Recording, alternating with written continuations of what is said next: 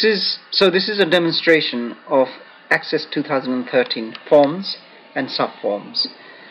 And we will also be able to show you how we can make use of calculated fields in the subform uh, and embed it also into the orders form. So what we can see here, first of all, is our two simple data, uh, data sheets or records, if you like, in a table format. Order details and orders. The relationship between the two are one to many. So orders to order details, one order could contain several products. That's what it is. So one to many. And the fields in the orders, as you can see, the primary key is employee uh, is the other field, customer, order date, shipping date, and so on.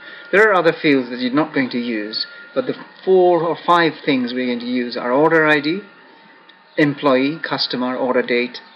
Uh, those are the four things we're going to use on our main form. So the one side will contain the main form, which is the orders form, and on the many side we'll have the order details form.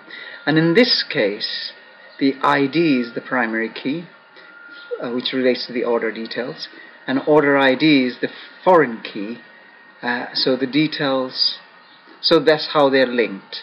So we got to make sure in our data uh, field that order ID has the same data type as the order ID in the primary key. As a foreign key in the order details has this, is the same data type as the order ID in the orders detail. Otherwise, you won't be able to link.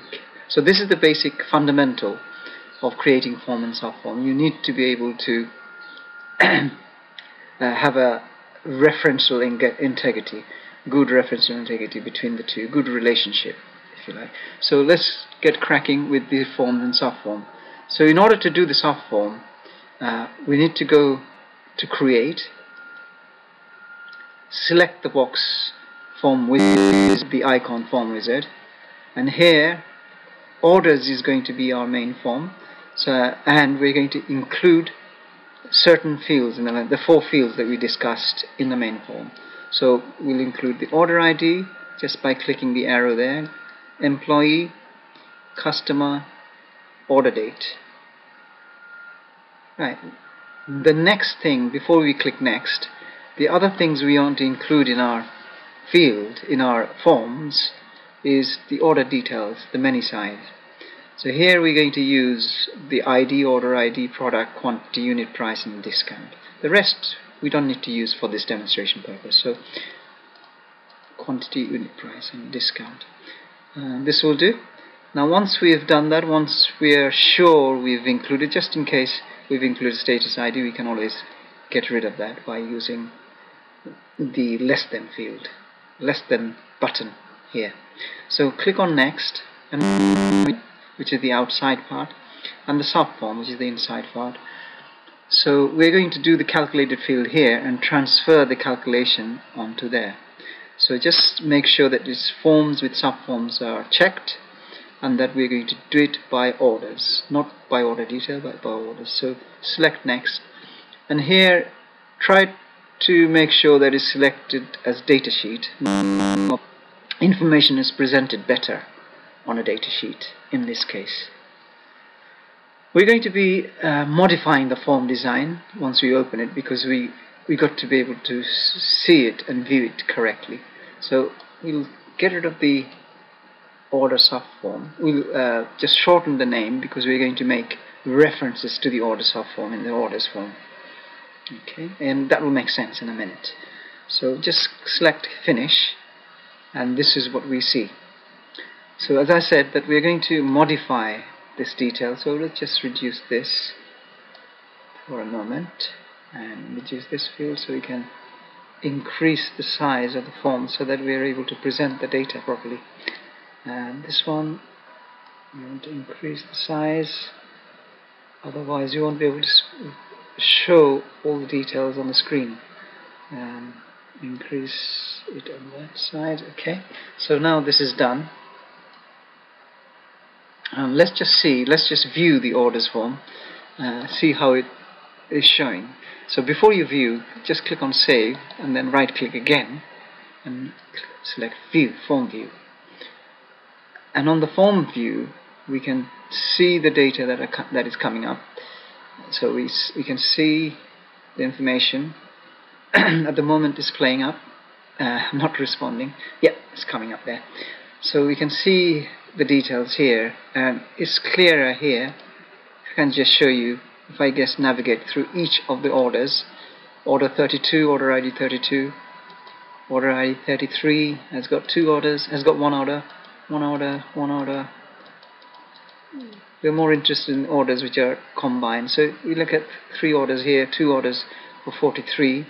Um, so we want to be able to multiply quantity and the unit price, quantity and the unit price for the second item and also the third item and add them together and have the subtotal presented on the main form. This is our aim. In order to do that, we've got to do this in two stages. First, create, a, we will use a text box to create a calculated field with simple expression using a sum function in the subform and then in the main reference to the calculated field we created in the subform text box. So let's just do that. So the first stage is to play, is to work with the subform. So let's just save this, we already saved it, so let's just open up the subform, design view.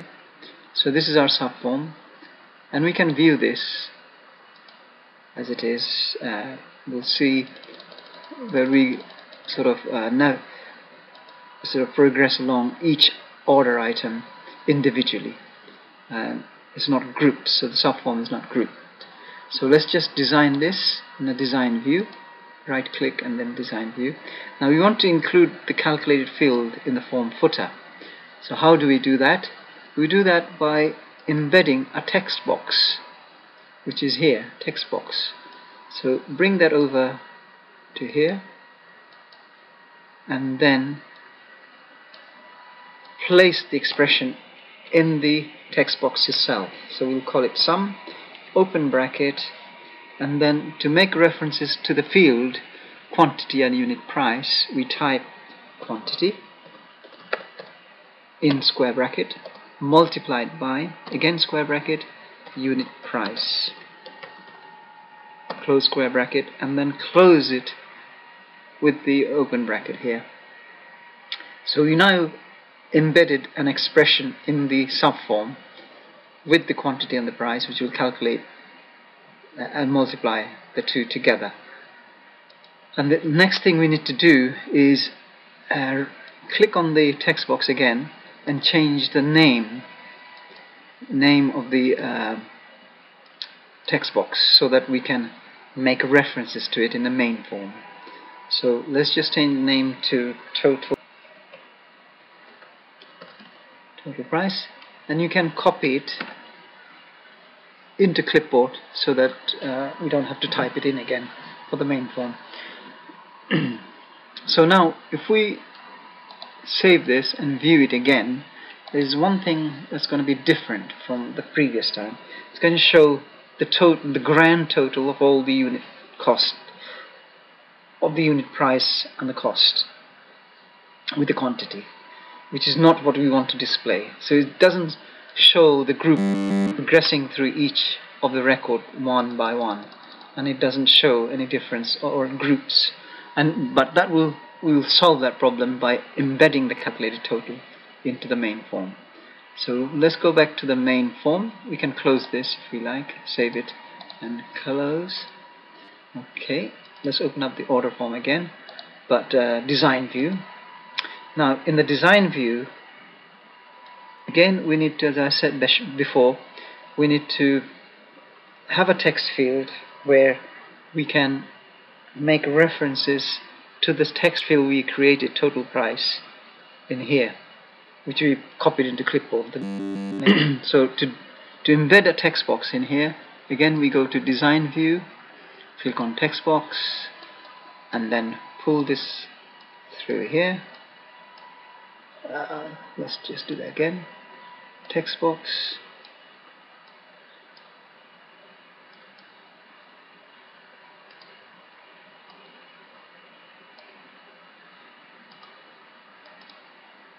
Okay it's done there. Uh, having a little bit of difficulty there.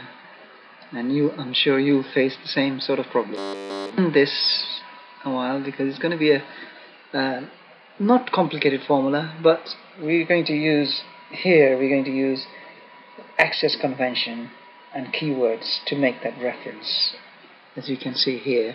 So here we'll click capital um, sorry square bracket and name of the order form because access needs to know which which uh, form to get that text field order subform it doesn't matter about the cases but let's just keep it consistent. Subform and then full stop and then square and then type form. Square bracket again. And in this case if you can't see it but it's a exclamation mark exclamation mark. And in the exclamation mark after the exclamation mark square bracket again and name of the text field that you can paste because we copied it you can remember. And that will do. So while we're here we're going to name this as subtotal. So we can name it subtotal here. Let me just to the left a bit. And then type subtotal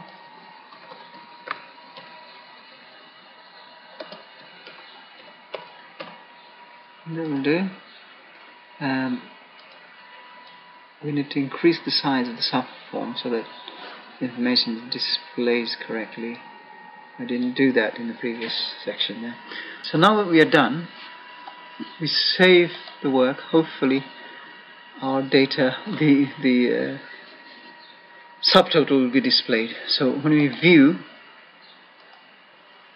we can see the subtotal. One thing I've forgotten to do is to format the text box so that it represents the uh, the dollar sign, the currency field.